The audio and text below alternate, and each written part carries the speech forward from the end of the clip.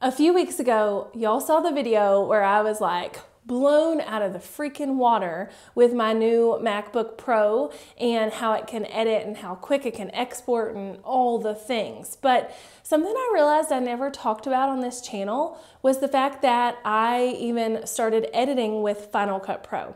So I used to edit exclusively with Premiere Pro for most of my career here on YouTube until about a year ago when I made the switch over to Final Cut Pro. And since I haven't talked about it on here, I thought I would share why I made that switch in case you're trying to decide between the two programs or maybe you're looking to switch or whatever, and what I like and dislike about each program compared to each other. So hopefully this will be a fun, information driven editing video.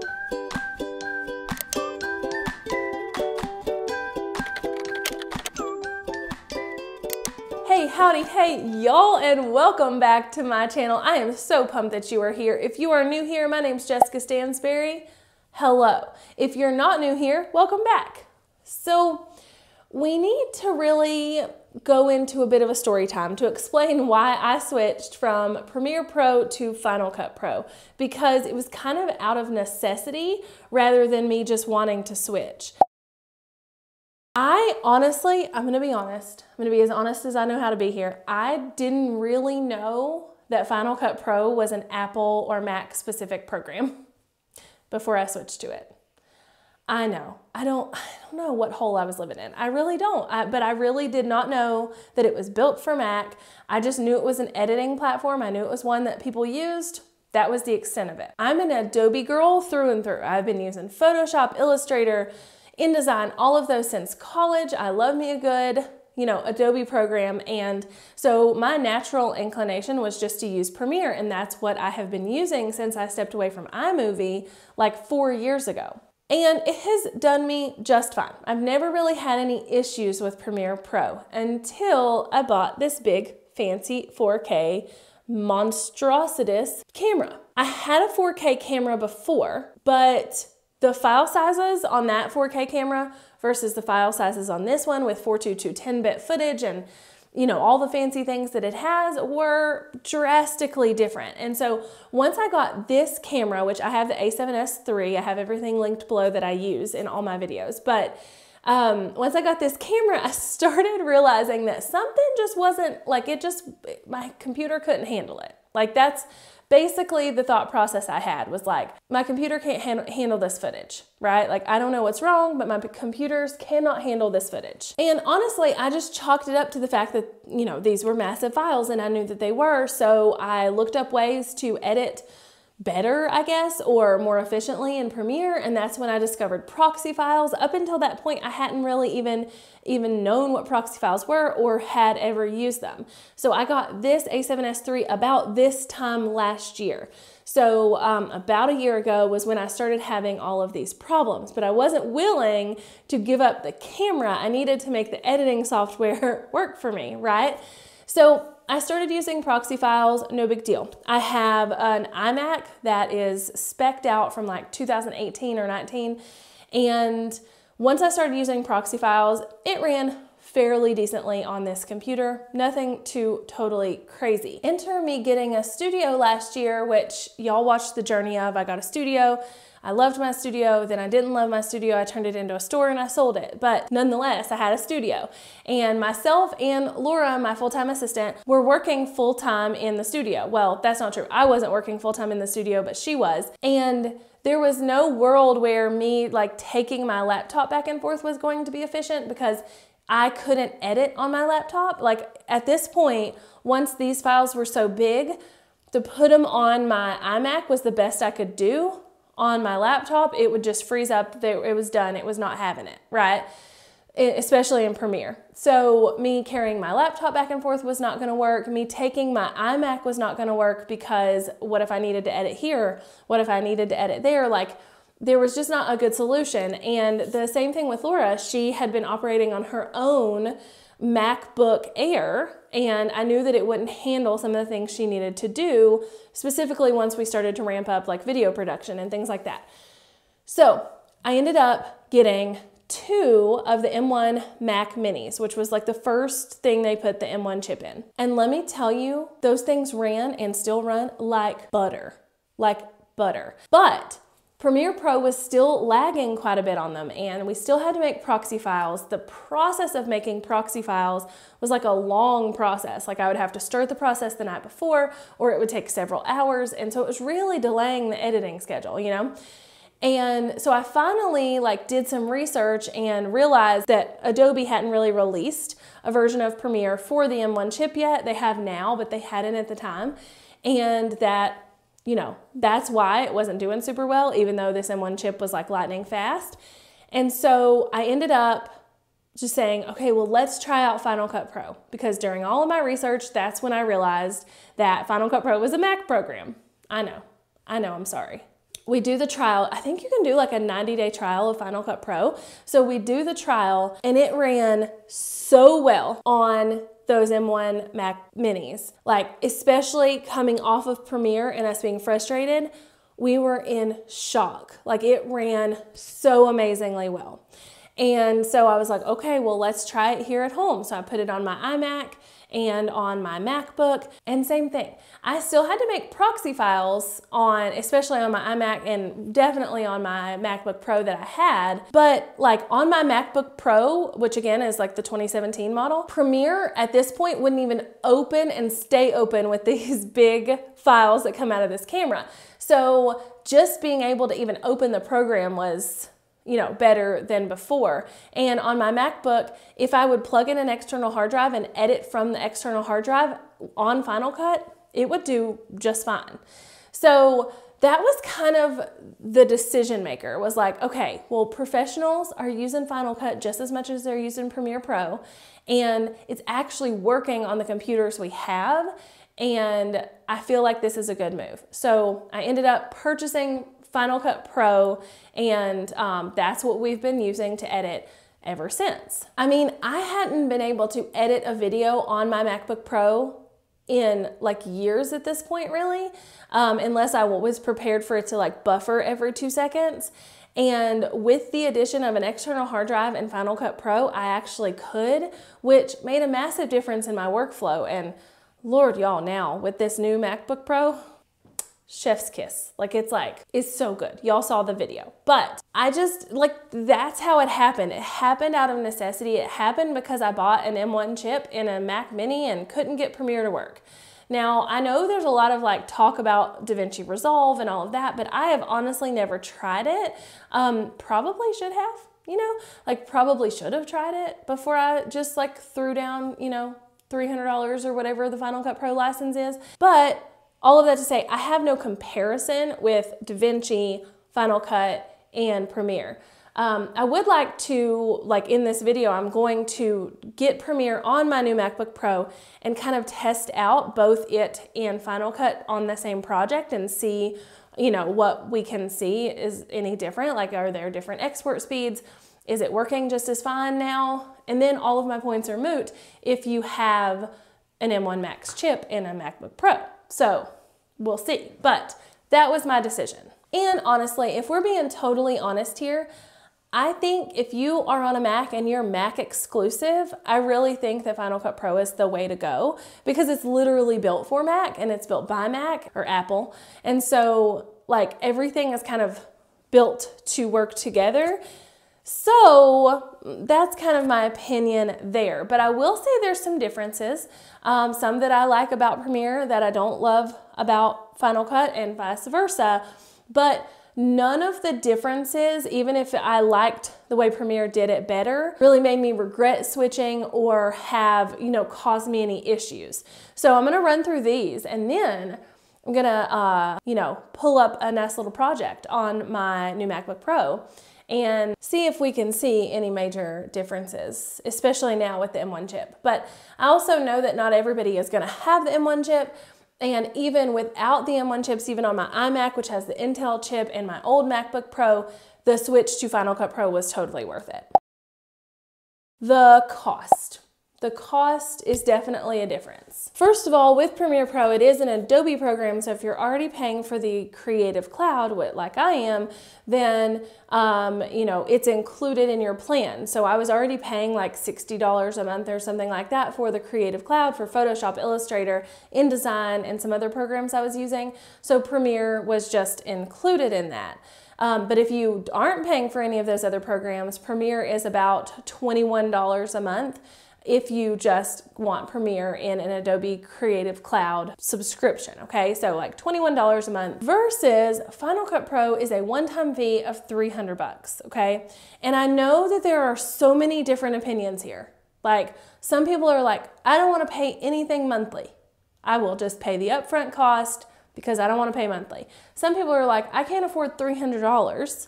So I'm gonna have to pay $21 a month. Like I get all of the differences there, but the cost of them is definitely a difference. But I can't honestly say which one is better or worse because I honestly think that's subjective. Like, if you like to pay for things monthly, you're gonna like Premiere Pro better. If you like to pay one time fees, you're gonna like Final Cut Pro better on the cost. So, that one's kind of a toss up and is subjective and dependent on what you like. Now, the next little thing that I noticed a difference on is ease of use. And this is coming from an Adobe girl. Like, I love me some Adobe. My first blog was called I Heart Photoshop. Like, really. I, I love Adobe.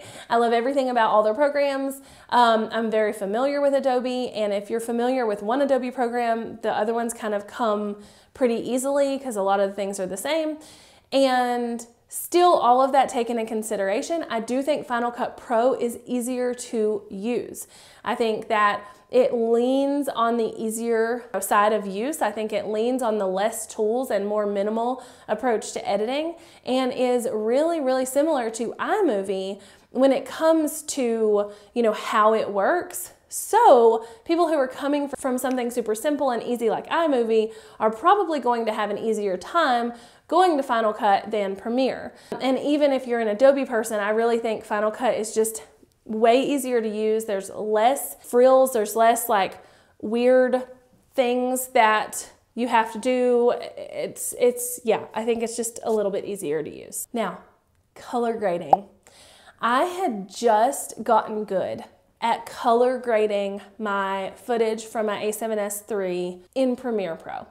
So when I first got this a7S III, I watched a ton of tutorials and so many of the creators that I look up to were like, shoot in S-Log3 or S-Log2 or S-Log or whatever, because it comes out a super flat image. Like I'll show you what it comes out looking like, but then you can color grade it in a more professional way and in, you know, more of a way of what like you want, right?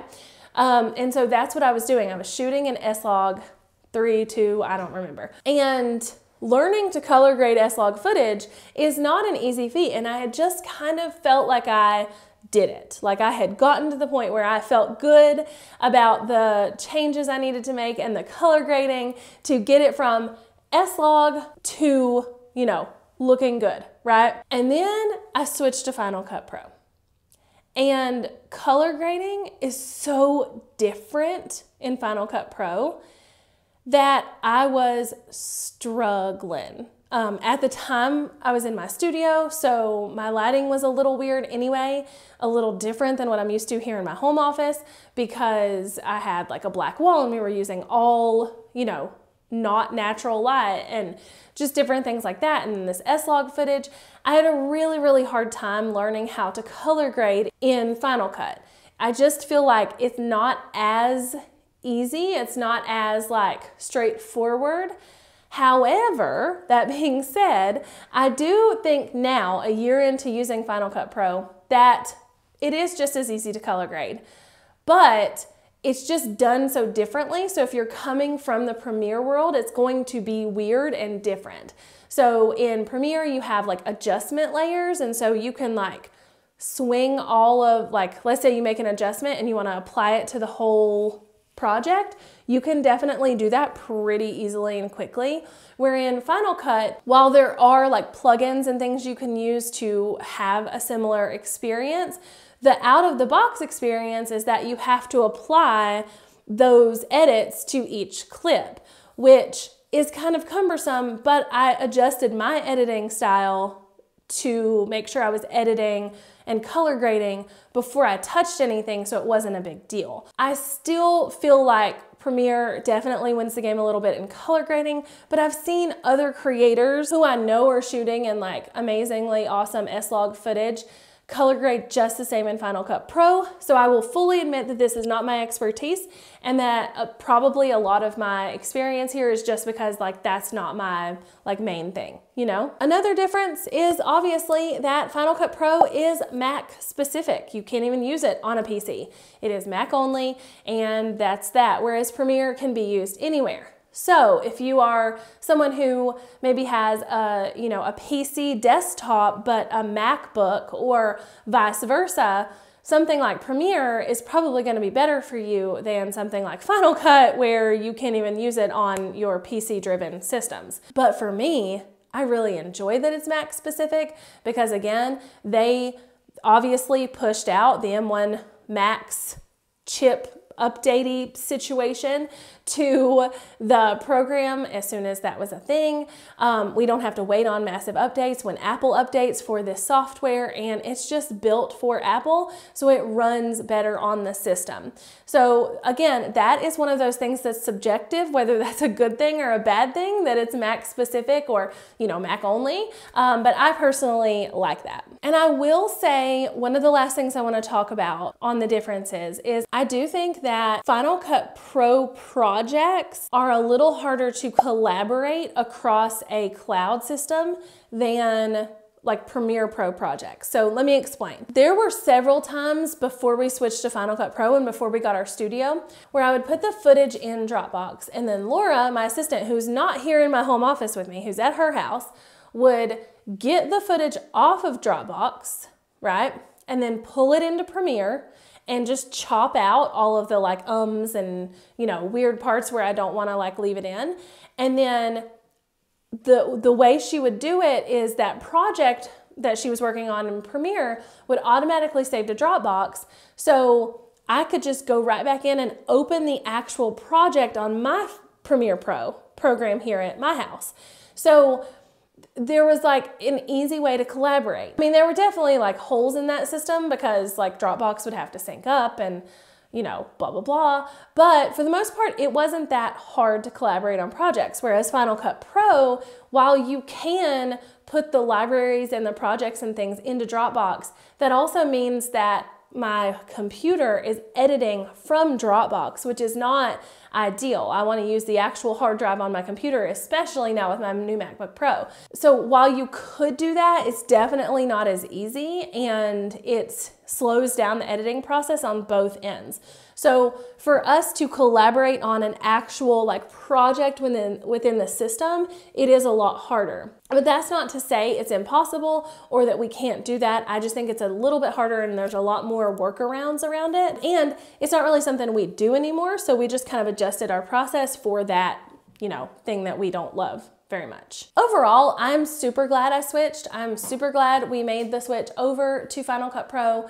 I'm really glad that I did it before I got the new MacBook Pro. And, um, you know, that's my only experience is like pulling up Final Cut Pro and it being amazing. I really am glad that I switched. If you're coming from something like I said, like iMovie, like you've been editing on iMovie for a year or two or five or whatever, you're going to have a much easier time going to Final Cut Pro because it's basically the same interface. There's just a lot more tools and a lot more flexibility. Whereas Premiere Pro is a completely different interface. So I think a lot of the things are subjective and what you need, whether you work on a PC or a Mac, whether you want to pay monthly or all at once, and you know, some of the other things that I talked about. But overall, the exact same things can be done in any editing program ever. Like in Premiere, in Final Cut, in DaVinci, anything that's on that top level of editing software, really anything could be done on any of them. Okay, so now I'm gonna pull out my MacBook Pro and we're gonna pit these two against each other with the exact same clip and with us like color grading and whatever else and see which one truly runs faster or does better on the new M1 Max MacBook Pro. Okay, so full disclosure, I had never even installed Premiere on my MacBook Pro, my new one, um, because I don't plan on using it. And I'm installing it, and it is definitely taking longer to open than Final Cut Pro. I'm actually a, a little afraid to start QuickTime because I'm like, mm, will it lose its mind? Maybe it might. I don't know. So we're gonna we're gonna try it here. Let's see. Okay, I have Premiere open. I'm just gonna create a new. It's been a while since I've worked in Premiere. I'm just gonna create a new project here. It's like mm, just call it test. What I'm gonna do is just open up or create a project out of one of my other videos that was like 15 minutes long and then go ahead and add like some color correction, things like that to it and export it from both. And I feel like that'll give us like a good, you know, a good look at this. So basically both of these, I'll be pulling a clip out of Dropbox because I can access one there pretty easily. So I'm just going to pull that over. It has been a minute. I'm Just gonna drag it over. Now I'm gonna try and scrub the footage. Which is working pretty great in Premiere. Okay, all right. Let's add some adjustment layers. I forget all my keyboard shortcuts. I'm literally having to Google how to add an adjustment layer. Like it is so funny how you like forget things so quick. Okay, by the way, this is not 4K footage that I'm pulling in because it's from my vlog camera. Probably should have done 4K, but that's okay. So I'm gonna drag this over and do some color correcting on it. Do, do, do, okay, and then let's just do some audio corrections on this. Okay, now let's see. It's still running like great without any proxy files. Now again, it's 1080p, it is not 4K, but my other laptop wouldn't have done that. so let's put it that way. So this is right at a 15 minute clip. I'm gonna go ahead and export it and just see. We're gonna make sure we export in H.264. High bit rate. Let me make sure I'm putting it in the right place. Export that and see how long this takes. Oh, I guess I should start a timer. Okay, so that exported in two minutes and 34 seconds. I did let it run a few seconds longer to make up for my me not starting it quick enough. Um, but two minutes and 34 seconds, it exported at, uh, you know, 1080p to Dropbox. Like, that's not bad. All right, Premiere, you may win me back, although probably not. I just spent $300 or, you know, not long ago, spent $300 on but let's just go ahead and open Final Cut Pro and kind of do the same thing, see if it lags anywhere or anything. Okay, so I'm just gonna drag the exact same clips over. I will say it opens a lot faster, uh, Final Cut does. Um, and I do think I heard the fans turn on when Premiere was exporting that, but y'all, they're so freaking quiet on this thing. I don't, I don't even know. I am just going to start a new project here and just do test. And this is Final Cut. Same thing. We're scrubbing pretty easy. Um, let's add some, some like color. We're just gonna add random color things to it just to kind of make it, I don't know, freak out a little, I guess, if you will.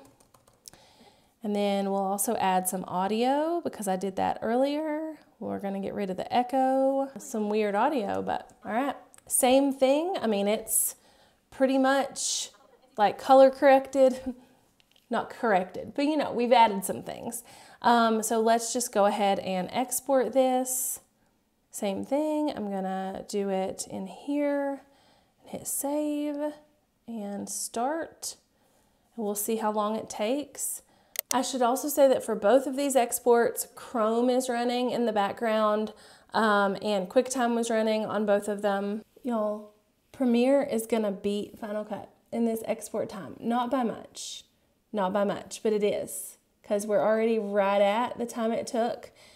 and we have about 10% left. But I mean, it's flying through it, but it's still gonna beat it for sure. I also wonder if I didn't give it enough time to import the clips, but all right, it's done. 250. So it took 20 more seconds. basically to export in Final Cut. But I do wonder if I didn't give Final Cut enough time or as much time as Premiere to like import everything um, because I kind of rushed it along. But you could see here in my like little test how like everything in Final Cut is very drag and drop, whereas everything in Premiere is very like hunt and find it. And once you know it, you know it. Uh, but now that I'm used to Final Cut, I don't think I could go back to Premiere, but it's good to know that it works just as well. It's funny because one of the biggest requests I get is for editing videos, and I am by no means an expert. I have been editing videos for, you know, 15 years or more, but I'm not an expert and I definitely am learning as I go and as I need to learn things for my own videos. But hopefully this can act as a really good comparison from a YouTuber's perspective, from someone who has all Macs, from someone who's had the Intel chip Mac and the M1 chip Mac and all the things to show you like which one kind of wins the race if you're looking to upgrade to one of these higher level editing softwares. I would love to hear what you edit with down below in the comments. So are you a Premiere person, a Final Cut person, a DaVinci person, an iMovie, and any whatever else? Let me know in the comments below. And until next time, bye y'all.